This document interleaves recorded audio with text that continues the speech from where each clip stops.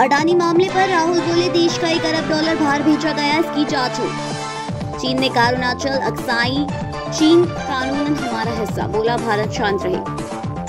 चाँद पर घूमते हुए रोवर का नया वीडियो आया, चाँद की सतह पर प्लाज्मा मिला। जया वर्मा रेलवे बोर्ड की पहली महिला चेयरपर्सन बनी, आज पदभार संभालेंगी।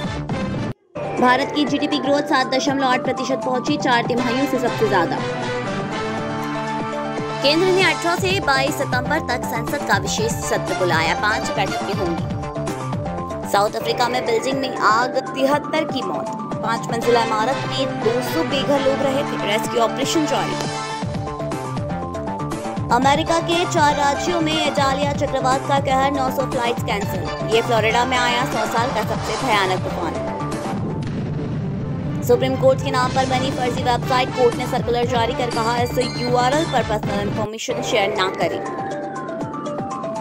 वर्ल्ड अठारह को मिले बीसीसीआई के मीडिया राइट्स डोमेस्टिक टूर्नामेंट और भारत के घरेलू इंटरनेशनल मैच दिखाएँगे।